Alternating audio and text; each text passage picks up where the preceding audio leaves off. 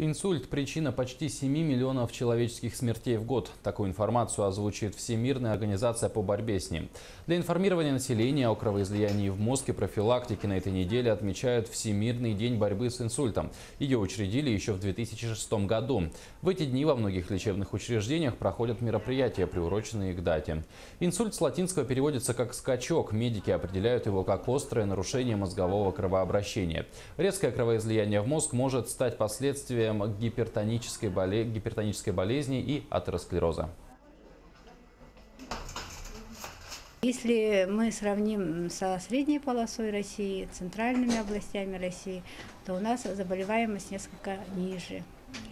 Э, Ну, так скажем, среди взрослого населения э, три человека из тысячи в год заболевают инсультом. Если это экстраполировать на население нашей республики, да, то это где-то в год около двух тысяч инсультов случается.